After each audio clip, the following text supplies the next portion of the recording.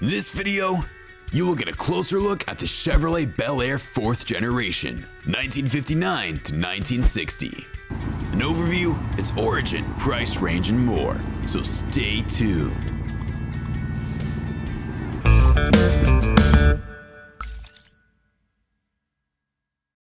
What's going on? This is the Classics Dude again. Chevrolet created a new design for its Bel Airline in 1959, which was a little different from the earlier 1958 Bel Air version. There wasn't much of a change to the interior of the model cars. The exterior of the car, however, was given a major distinctive feature at the rear. Furthermore, the wheelbase of the 1959 to 1960 model range was relatively longer in comparison with those of its predecessors. The 1959 to 1960 Bel Airs retained the body style of the earlier 1958 version, in that there was a two-door sedan, a two-door hardtop, a four-door sedan, a four-door hardtop. However, the years 1959 to 1960 did not see the production of a model convertible. Stay with me till the end, and I will let you in on how much this car would cost in today's markets.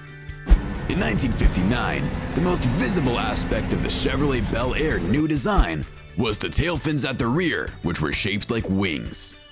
Unlike the 1958 model, which had a 117.5 inch wheelbase, the wheelbase of the 1959 model was 3,500 millimeters, 119 inches, with a length of 210.9 inches as opposed to the previous 209.1 inch length of the previous model.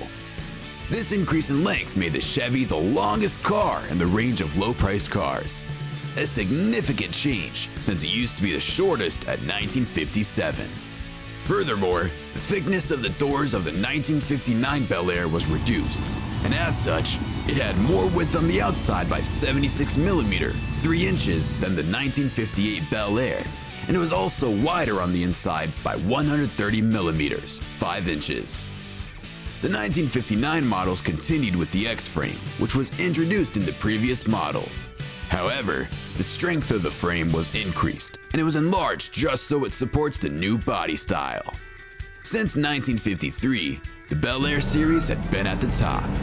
However, by 1959, they were now mid-range cars, and although wagons were still in a class of their own, they still used the model number of the car series.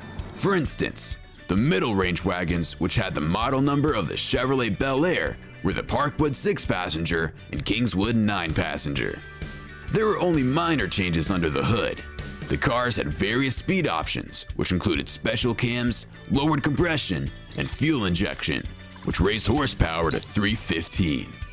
There was also an optional parking brake warning lights, there is also a minor external variation between 1959 and 1960 models. The front end of the 1960 models was more restrained than their predecessors, but they retained the cone tail lights from 1958 instead of the cat's eyes that the 1959 models used. The body styles they offered were the same as the previous models, which include sedans and hardtops. The Impala series was the model range that had convertibles in 1960, and the rear window overhang as well as the huge wraparound rear window, were features retained in the Bel Air sports sedan.